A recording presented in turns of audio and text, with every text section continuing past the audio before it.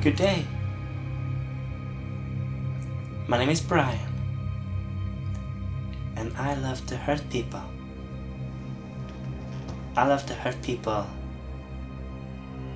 a lot. Do you want to know how I killed my girlfriend? And why I killed my girlfriend?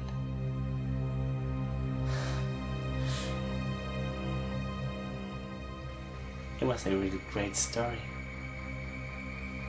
Actually. My girlfriend was a slut. And she was cheating on me many times.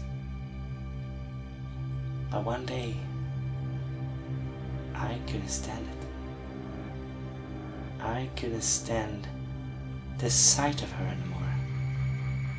And that's why I killed her. That's why I slaughtered her in pieces. You know, after that, after that moment, when I killed my girlfriend, nobody talked to me again. Nobody wanted to see me again, and nobody wanted to see me alive. Ever.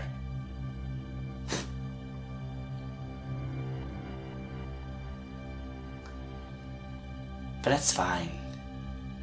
I don't really care what people think about me anymore because that doesn't matter. It's not important.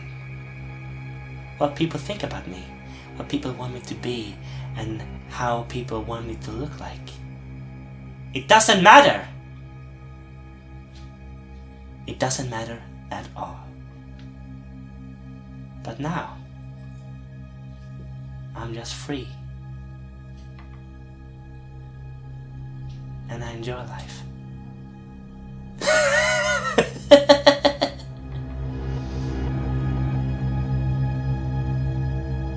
but before we end this conversation, there's one thing I want you to know. There's one thing I want you to understand. You will not get out of here alive.